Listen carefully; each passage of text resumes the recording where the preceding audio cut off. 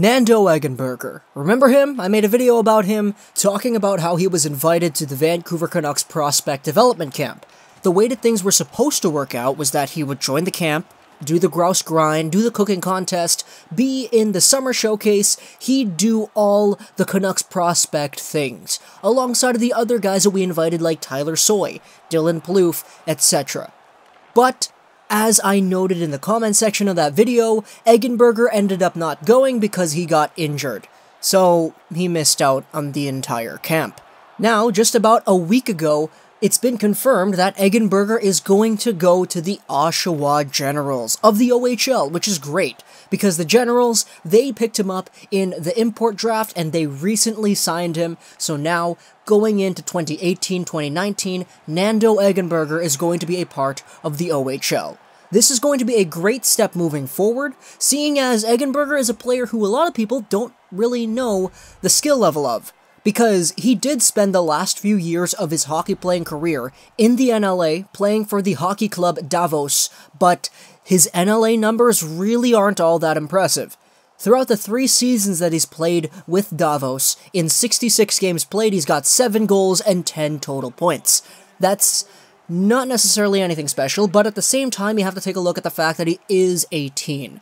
Born October in 1999, he's got an early birthday, and a lot of people were expecting him to be drafted by an NHL club in the 2018 draft, considering he was a player who was playing professionally for the past three years, and he is pretty young. So now, because this is a player who a lot of people were expecting to be drafted, it gives him an opportunity to actually get himself drafted in a later round in 2019, because I think he's still eligible to be drafted, if I'm not mistaken.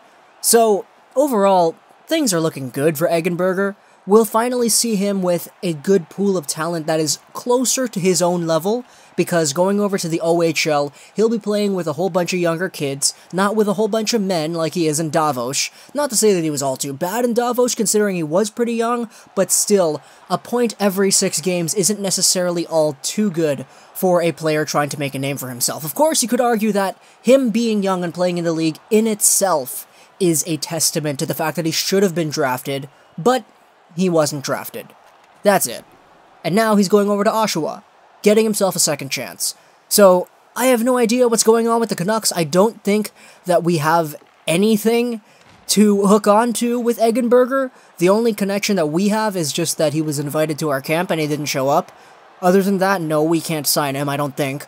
No, he's not our prospect. That's not anything related to what's been going on, but we just gotta watch because if he does do well, he might get himself an NHL spot late in the 2019 draft, or he gets himself signed to a team in a few years. All in all, though, the Oshawa Generals have themselves a potential steal with their 33rd overall pick in the CHL import draft.